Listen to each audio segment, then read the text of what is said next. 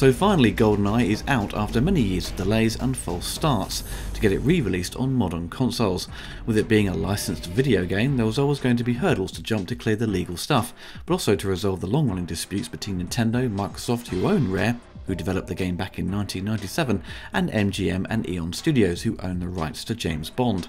Back in 2007, things were looking positive. Rare were in development of remastering GoldenEye for the Xbox 360, with an HD upgrade of the visuals with all new textures and improved character models, plus online multiplayer. It also gave you the option to switch between the old and new graphics, but its release date for 2008 was scrapped due to more legal issues, with many pointing to Nintendo as the cause of the problem. But the license to make James Bond video games had jumped around to different companies, so to get full clearance it became too difficult. But to many people's surprise, it would eventually be leaked in early 2021 but the version that is now available for the Xbox and the Switch is not the remastered version that was intended to be released nearly 15 years ago, but instead a bog standard release with little bells and whistles and can be summed up as a lazy port.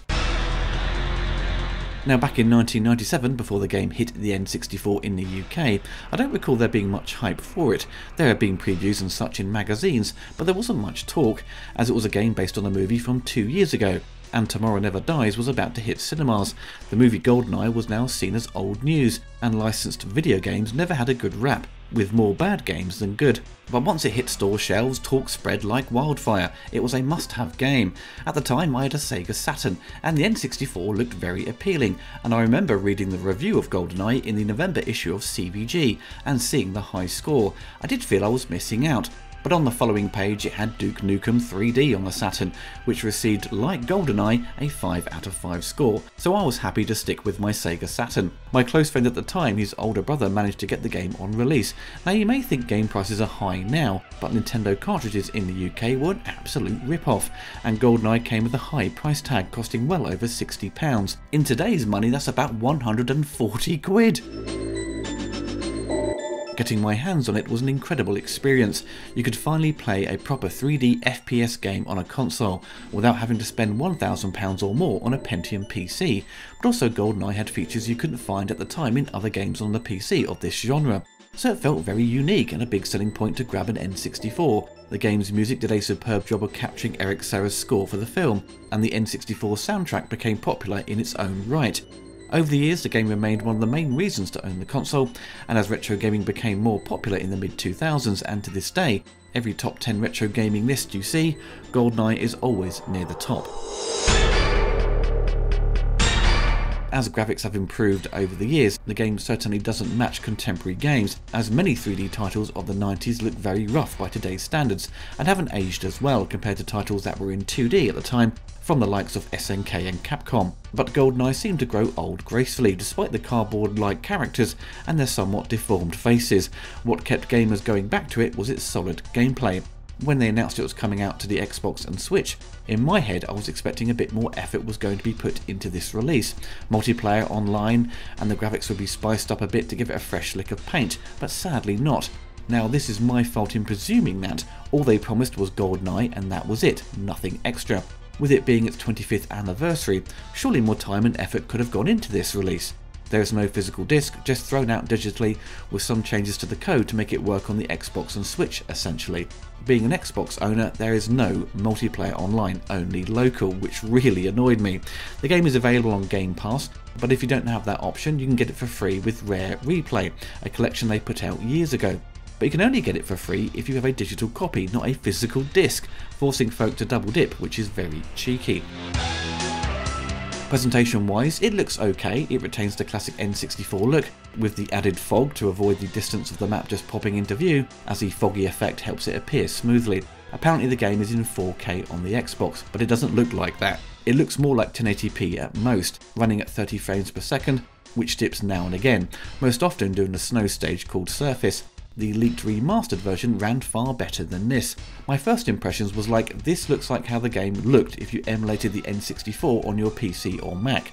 But coming with emulation you encounter graphical bugs as it's never 100%, with added glitches and textures looking washed out as the software attempts to upscale the image. This is exactly how it performs on the modern consoles. Apparently the Switch version looks a bit more rough around the edges compared to its Xbox counterpart. The game offers a variety of aspect ratios, the standard one on the Xbox is ideal, as everyone owns widescreen TVs. You get the original aspect ratio and super wide, which is a bit pointless, but the option is there to maintain the original look of the game. Despite it being a lazy port and the graphics only getting a slight upgrade, the core gameplay remains intact. It's still the same fun shooter as it was back in the late 90s.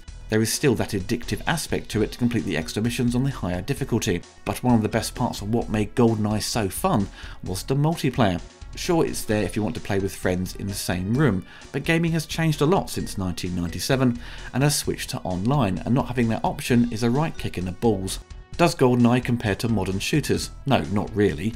It's very clunky in areas and stiff in places to control. The AI is dumb as hell. Trying to do that jungle level with Natalia was a nightmare. The amount of times I shouted, Bloody woman, get out of the way! And a number of the stages are just very forgettable. Though it's pretty faithful to the movie, they do take liberties with the story to include areas that Bond doesn't appear in the film. The ones they create specifically for the game are often the most boring levels. The Switch version does thankfully have multiplayer, but only via screen sharing, there is no matchmaking, so it's not really a proper option built into the game, but at least there is an option to play with your friends. Also the controls are a bit janky as default, so it's recommended to remap them for your Pro controller to make it control like a modern shooter, whereas the default controls on the Xbox are perfectly fine. There has always been strong nostalgia associated with GoldenEye on the N64, and with it not being re-released officially until now, and with most people not playing it for years and only relying on childhood memories, the nostalgia goggles can play tricks with you. It hasn't aged particularly well as an FPS shooter, it certainly needed a new lease of life in the graphical presentation, and the game engine itself needed some of the tech issues resolved to maintain a consistent frame rate. For example, once an explosion or two goes off, the slowdown kicks in. This should have been corrected. Overall, it's nice to be able to play it officially, thus avoiding trying to make it work via emulation. It's just a massive missed opportunity we didn't get the remastered version, or at the very least they just put in a little more effort into improving the game's performance and offered online play. It's an important title in video game history, and for it to be so carelessly released with little effort, it's a massive shame. Maybe the cost of sorting out the legal stuff didn't leave much funding to do much with the game, and to avoid extra costs, they just did the bare bones amount of work needed to get it out there.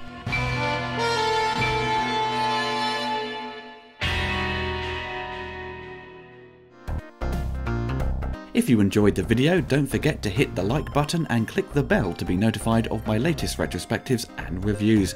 Big thanks to my patrons for supporting the channel. If you want to get involved and gain early access to my content and exclusive videos, then follow the link below.